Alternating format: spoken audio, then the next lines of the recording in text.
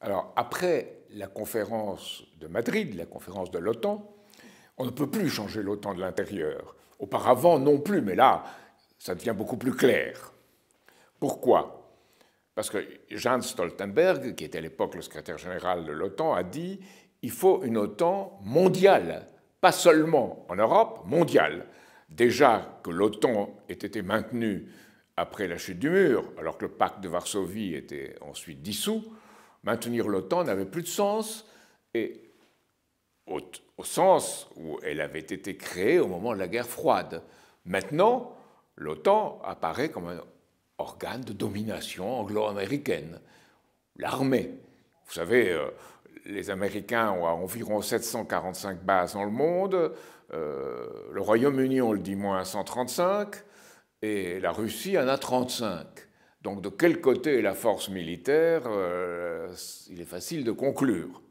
De plus, l'OTAN s'est étendue, contrairement aux accords qui avaient été passés à Bucarest, à Budapest en 1991-92. L'OTAN s'est étendue vers les frontières de la Russie.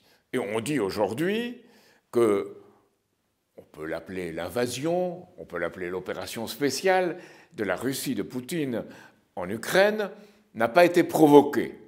Ah, ça, c'est certainement faux. On peut penser ce qu'on veut de l'opération de Poutine, mais elle a été provoquée. Elle a été provoquée par cette extension de l'OTAN et par un autre sujet. Alors, l'analyste suisse Jacques Beau l'explique, un autre sujet qui a été, en février, euh, ces troupes euh, ukrainiennes entassées à la frontière euh, du Donbass et du Donetsk et du Lugansk et qui s'apprêtait à lancer une offensive après avoir bombardé abondamment cette partie de l'Ukraine qui réclamait son autonomie à l'époque. Donc, Poutine a pensé qu'il devait intervenir pour préserver les russophones de cette région. Mais en ce qui concerne la sécurité et la stabilité en Europe, il avait présenté deux mémorandums en décembre demandant euh, qu'un système de stabilité et de sécurité soit adopté en Europe avec une dénucléarisation progressive. Il n'a pas reçu de réponse. Donc sur le premier sujet, il pensait qu'il devait intervenir militairement. Sur le deuxième sujet, c'était diplomatique. Puis les deux sujets, avec ce qui s'est passé, se sont confondus et on a eu euh, la situation que nous vivons actuellement, qui est une situation tragique dans laquelle le peuple ukrainien est de loin la première victime à la fois de l'opération spéciale de Poutine, mais surtout du comportement de Zelensky et de son entourage, qui ont cédé à une vision va-t-en-guerre des choses. Et enfin, on peut dire, il y avait l'accord de Minsk qui avait été passé, la France et l'Allemagne n'ont pas réussi ou n'ont pas voulu l'imposer à l'Ukraine pour obtenir une stabilisation de la situation, c'est-à-dire qu'on reconnaisse l'autonomie du Donetsk, du Lugansk, peut-être de Kherson et de Zaporizhia, je ne sais pas, qu'on obtienne une autonomie et qu'à ce moment-là, on assure les conditions de la paix avec un statut pour euh, l'Ukraine de, euh, je dirais, de neutralité à l'autrichienne. L'erreur a été celle de Nicolas Sarkozy de rentrer dans le commandement intégré de l'OTAN en 2009. Il ne fallait pas. Et après, il y a eu, euh, disons, la tragédie de l'intervention en Libye, qui a créer une déstabilisation dans tout le Sahel. Donc on a commis erreur sur erreur en France. Et on n'a pas défendu notre indépendance nationale. Donc il faut retrouver notre souveraineté, d'une part en refusant, c'est-à-dire en disant on ne va pas aller vers cette vision de, je appellerais ça une oligarchie financière qui domine les États-Unis et la Grande-Bretagne. On ne va pas aller dans ça, mais il faut autre chose. Et là, on a un système que nous appelons un nouveau Bretton Woods, qui est un accord international pour le développement mutuel où chaque pays soit assuré sa stabilité et sa sécurité par le développement économique. Alors, il y a l'approche de l'Organisation de la coopération de Shanghai, il y a l'approche des BRICS, et je suis très intéressé par le fait que la Turquie ait posé sa candidature à la fois à l'OCS et aux BRICS, et qu'il y ait beaucoup de pays maintenant qui aillent dans ce sens. On dit que Poutine est isolé, et ce n'est pas vrai. L'OTAN s'est isolée elle-même en créant un mouvement et en laissant se créer un mouvement dans lequel tous ces pays euh, vont dans une direction de façon informelle, mais dans une direction qui est contre, disons, euh, le colonialisme financier des pays occidentaux. En islam, le hadith du prophète dit qu'il faut chercher la science jusqu'en Chine. La l'OTAN cherche la domination jusqu'en Chine, c'est exactement l'inverse.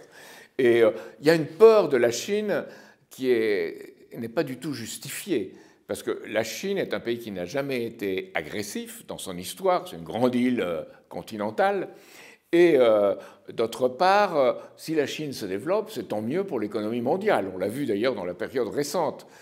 Cette peur d'un développement de la Chine et cette image d'une Chine qui peut être agressive, qui peut être dangereuse, c'est de la part de cette oligarchie financière la peur qu'il apparaisse quelque chose dans le monde qui est une forme de développement euh, disons, tout à fait opposé au sien. Le sien, c'est l'argent à tout va, l'argent pour euh, euh, entre 1 et 5% de la population, 20% qui vivent mieux et les autres, tant pis pour eux. Ça, on, on, en est là.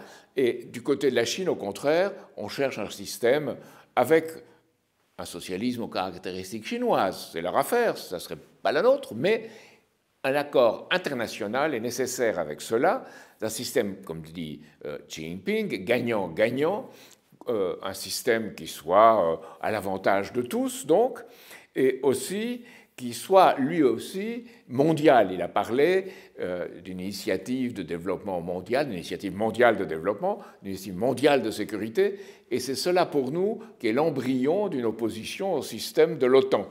Alors, je dirais que Lyndon LaRouche qui est mon ami américain et qui avait le premier montré vers quoi se dirigeait ce système occidental, en trahissant ses propres valeurs d'ailleurs.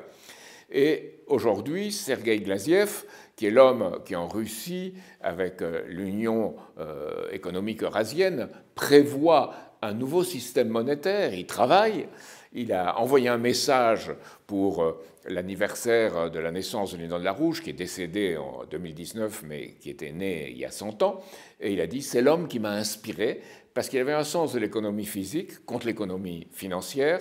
Moi, j'étais à la chute du mur, au moment de la chute du mur, avec euh, l'Institut international de l'analyse des systèmes, je me suis aperçu que c'était une forme occidentale de pénétration chez nous. Donc la rouge m'a éclairé sur ce qu'est l'économie physique. Et les pays qui ont suivi, et il l'a dit comme ça, hein, les pays qui ont suivi euh, disons, les indications, la façon de penser, la méthode de la rouge pour leur développement, sont ceux qui ont réussi, particulièrement la Chine.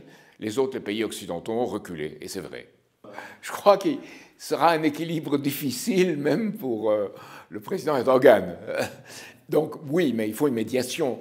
Et la France devrait être médiatrice, je pense, principalement avec la Chine, mais aussi avec des pays comme la Turquie ou d'autres encore. Et cette fonction médiatrice de la France, c'est la politique gaulliste, gaulienne, euh, de la détente, euh, l'entente euh, et la coopération qu'il avait mentionné dans un de ses voyages en Russie. Et je crois qu'on doit aller dans ce sens-là, et que la France doit jouer ce rôle, non seulement, à mon sens, de médiatrice, mais aussi d'inspiratrice et de catalyseur. C'est la toute petite chose, on est petit à ce moment-là, on est la septième économie du monde, la petite chose qui peut assurer que l'ensemble marche et que la réaction chimique pour la paix et le développement mutuel se produise.